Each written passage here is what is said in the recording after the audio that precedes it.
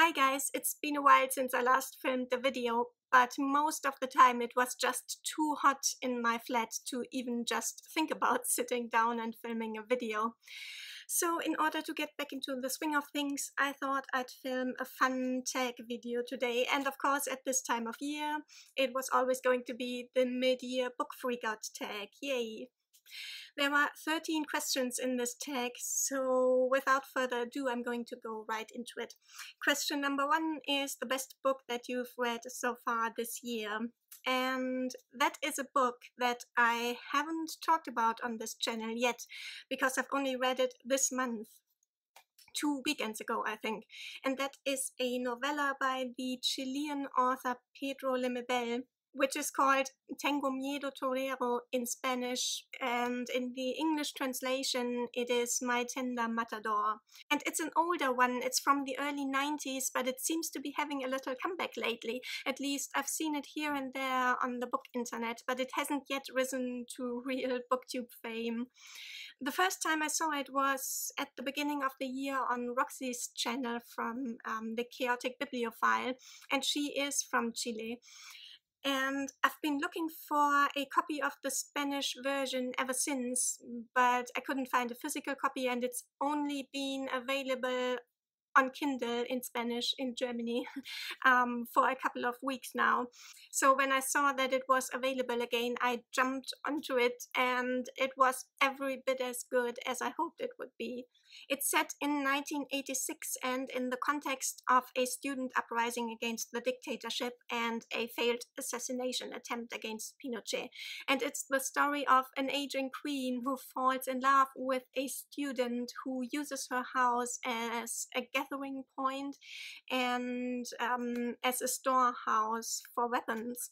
And at this point here for this tag, I'm not even going to try and summarize in one or two sentences what it is that is so great about the book. You will have to watch my next wrap up for this, I'm afraid. Next question is the best sequel that you've read so far this year. And I haven't read any super great sequels, I'm afraid, or very many sequels to begin with. The only real one that I've read is The Lost Future of Pepper Harrow, which is the sequel to The Watchmaker of Filigree Street. But I didn't think that this was a super good book. I enjoyed it, but I didn't think it was very good. So I can't name this as the best sequel. Well, I could because it's the only one. Um, but I have read a couple of crime series or the begin the beginnings of a couple of crime series. The LA After Midnight Quartet, which I talked about in my last wrap up, and the Henry Rios mysteries. And these last ones in particular are very good. It's a series about a um, a gay Mexican American defense lawyer in San Francisco and the Bay Area and in Los Angeles, the location changes in the course of the series. And the books are set and were written in the 80s and early 90s and and they are about all kinds of social issues that you can imagine that the protagonist is confronted with or witnesses in his particular section of the Venn diagram. Question number three asks for a new release that I haven't read yet but want to, and that would be Maggie Stiefvater's Mr. Impossible, which is the second book in the Dreamer trilogy, which is a spin off of the Raven cycle. And I can't really tell you what this is about without spoiling the Raven cycle, so I won't say anything. And perhaps this is the best sequel that I should have read in the first half of the year. But in my defense, it was only published at the end of May, so that's a valid excuse, I think. Question number four is most anticipated release for the second half of the year. And I have a few. The first one, whose publication date is coming up in a couple of weeks is The Sweetness of Water by Nathan Harris, which is a historical novel about two freedmen in the aftermath of the Civil War. And that is about as much as I know about this book. And then there is Harlem Shuffle by Colson Whitehead, which is out in early September, I think. And this one's just a given for me. I think Colson Whitehead is an autobi author for me at this point. And then there is also Summer Suns by Lee Mandelo um, from Tor.com Publishing out in late September. And I think this is dark academia, which isn't usually my thing, but it sounds like a fun one, and it's Tor.com publishing, so there is fantasy uh, or spec fic elements mixed in there, and it just sounds like a lot of fun, so I'm looking forward to that one too. Question number five is the biggest disappointment, and let me tell you, I've read a lot of bad books these past six months, like I always do. But for most of them, I didn't have any huge expectations to begin with, so I can't really call them disappointments. Um, but one disappointment that stands out was Exposure by Helen Dunmore, which is a spy thriller, although it's not very thrilling. And it was just full of cliched cardboard characters and i was so disappointed by that because i read and loved the lie by helen dunmore at the beginning of last year. And if exposure had been even just a fraction of the quality of the lie and and the emotional rawness of the lie it would have been fantastic. So I was pretty much counting on it being a good read, but it was one of the worst reads of the year, and I didn't even finish it. There was nothing in it that made me want to keep reading it. It was just so bland and uninspired. A huge disappointment. And then, of course, there was Lava Red, Feather Blue by Molly Ringle, which I'd been looking forward to reading for a few months before I picked it up. Um, but the writing in that one was just extremely basic, like high school level quality, but the contents were even worse.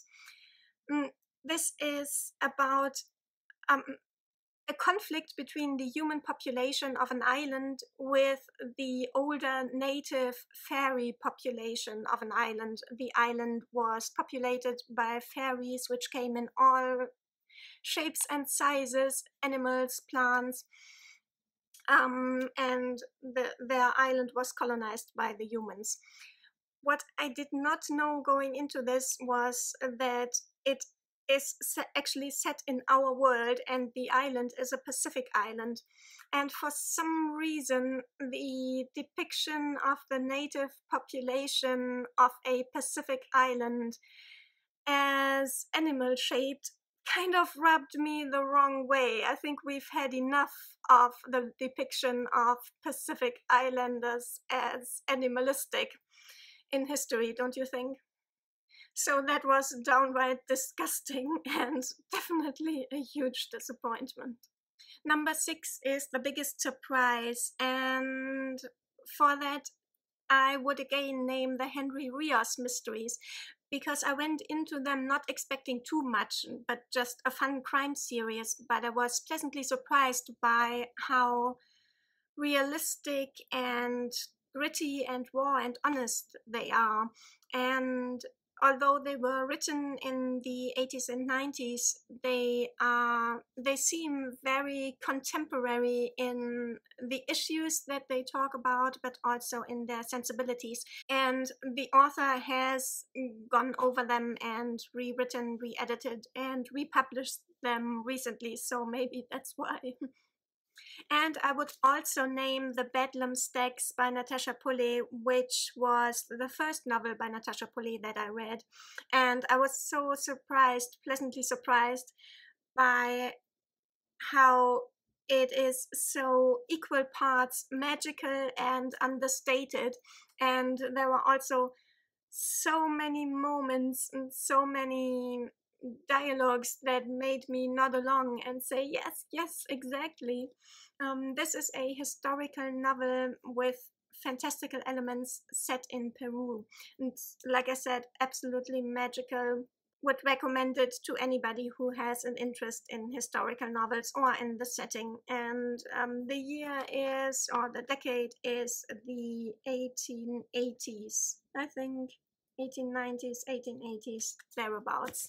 And speaking of Natasha Pulley, the seventh question is uh, your favorite new author. And I read all of her books, all of her novels this year um, The Bedlam Stacks and The Watchmaker of Filigree Street and its sequel, The Lost Future of Pepper Harrow, and the newest one, The Kingdoms. And I've found a lot to criticize with these books. I haven't even talked about the Watchmaker novels yet, but I will at some point. And the Bedlam Stacks um, almost made me angry because it could have been perfect if not for one small thing that nevertheless I think weighs quite heavily. And so she drives me crazy, but I also love her books and especially her characters. And on the topic of characters, the eighth question is newest fictional crush.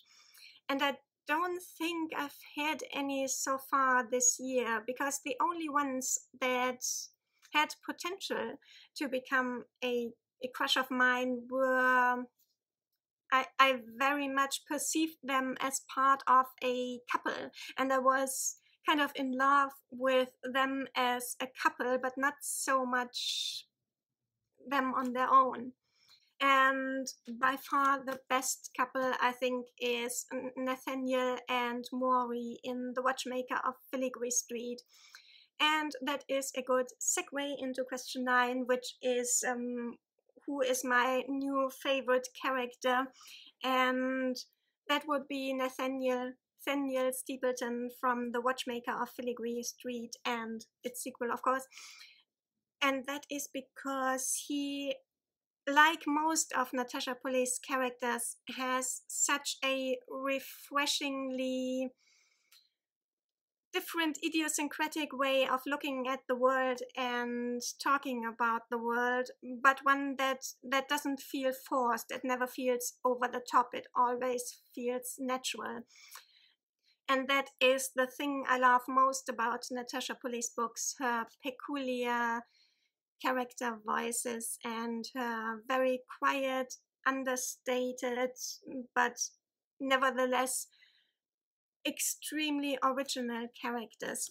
And that is also the reason why I like The Kingdoms least of all her novels, because there is so much going on in here that we don't get these quiet, introspective character moments as much. And that is a real shame because I loved those so much in the other novels. Question number 10 is a book that made you cry. I cry very easily these days, but I haven't read that many books that made me cry this year. I think the books that make me cry the most and the most frequently are romance novels, and I haven't read many of those this year. I'm I, I feel like I'm getting back into a romance phase sorry if that's not your thing. Um, but the ones that did make me cry were those two. Even, yes, The Kingdoms, even though it's my least favorite one of Natasha Pulley's novels, even that one made me cry. And then there is The Stones Cry Out, which I've read this month as well, so I haven't talked about it in the wrap up yet. Um, this is set in the aftermath of World War II, and it is about the long term effects that the war and the experiences in the war have on on a soldier and ultimately on his family. It's it's really heartbreaking and I'm looking forward to talking about it in my next wrap up. And there is also The Gift of Rain by Tan Twan Eng, which is the story of a young Chinese English boy who lived through the Japanese occupation of Malaya and who loses everyone and almost everything that he has ever held dear, which is not a spoiler because this has a frame narrative in which the aged protagonist um, tells his life story to a visitor. Uh, so we know from the beginning that he is all alone and that he has lost all the people that he's loved in his life. So this is from the get go extremely melancholy and sad and nostalgic and uh, I love both of Tan Twan Eng's novels, as you will know if you've watched my special review video of these novels. Question number 11 is a book that made you happy, and for that I would again name Tengo Miedo Torero by Pedro Lemebel, which was also my best book of the year for one, because I just love it when authors have such a masterful grasp of language and can play so masterfully with language. I'm going to talk about that more in my wrap up. And also because it is a tale of defiant happiness in the face of oppression, abuse, misery, and bad fate. And it's about happiness as an act of defiance, maybe, and I like that a lot. Question number 12 is most beautiful book that you've bought this year. And I haven't bought any spectacularly beautiful hardcover editions or anything. And most of the books that I bought this year have been used books too.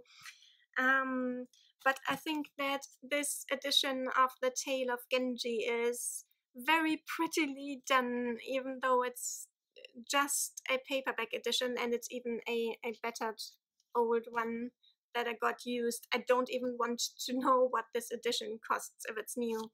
And it also has, um, it's full of illustrations on every other page, just not the ones that I, um, but this is, um, these are wood prints, reproductions of wood prints from an edition from, I think, the 16th century. The Tale of Genji itself is from the 11th century. Oh, yeah, the wood the woodcuts are taken from a 1650 Japanese edition.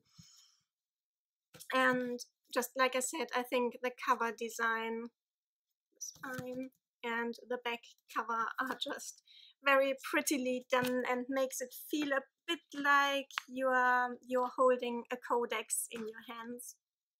And the 13th and last question is What books do you need to read by the end of the year?